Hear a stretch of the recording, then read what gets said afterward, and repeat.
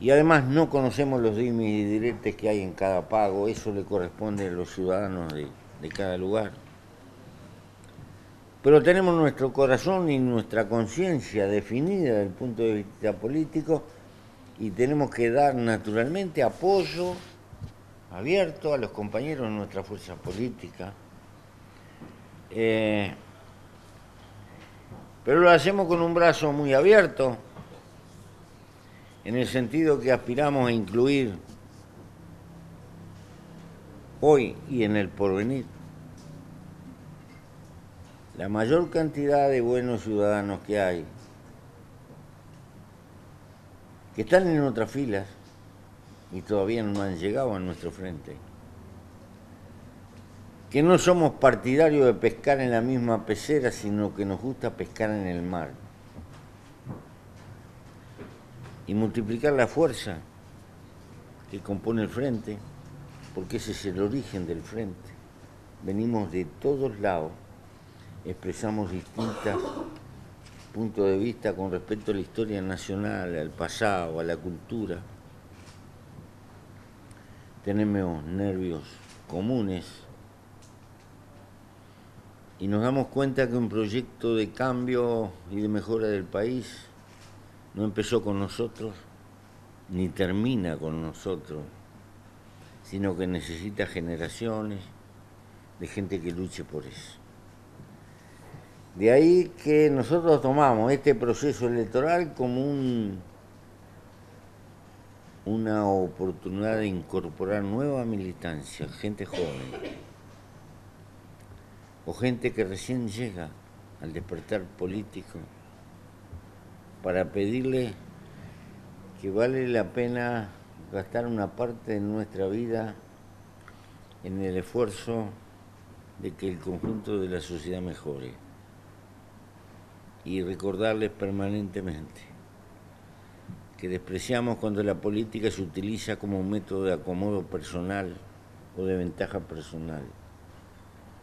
Y aquellos que estén enamorados de la guita, aquellos que estén desesperados por ser ricos,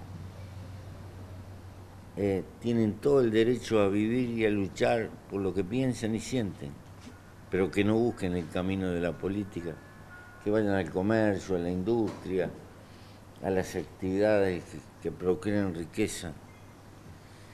No porque en la política no haya intereses, pero en el fondo no debe haber intereses económicos, son intereses de otro tipo. Eh, y los intereses de ese tipo tienen que ver con la satisfacción interior que nos provoca el poder hacer algo por la suerte de los que van a quedar en la vida luego de nosotros. Si está en política en el sentido profundo por amor a la vida, nos daremos cuenta o no. Y creemos que hay que levantar el concepto de la política, que la política es acomodo, es ventaja. Por el contrario, la política es compromiso con la suerte de la sociedad.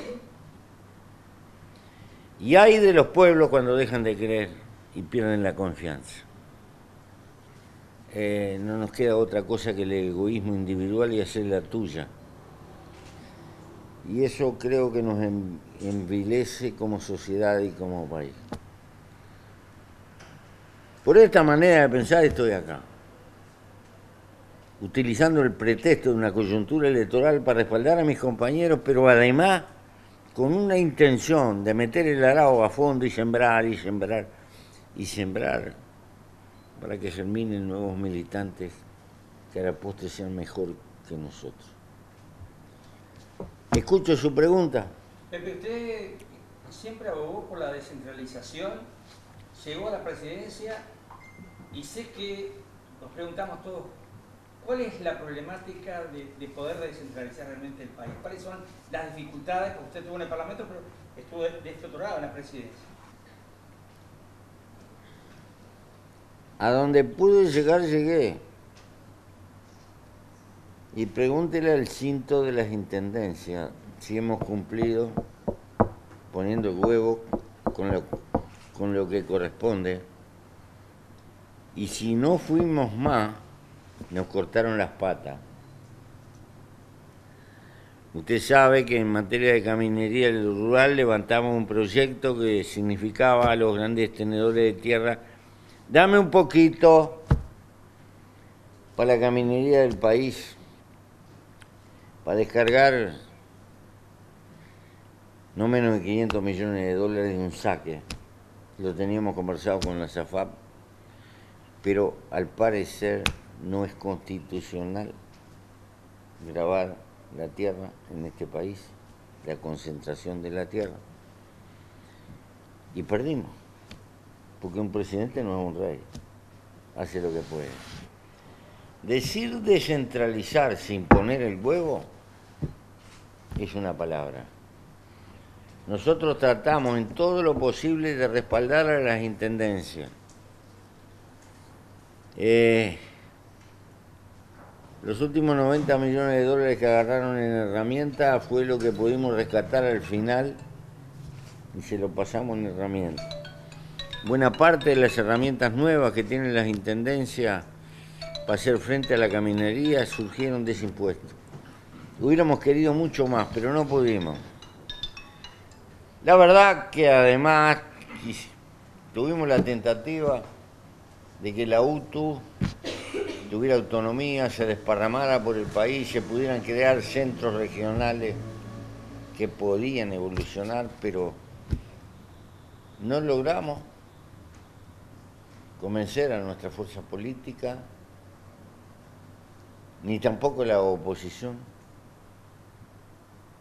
Acá hay una polémica que viene de la época de Ferreira con respecto a la filosofía de la enseñanza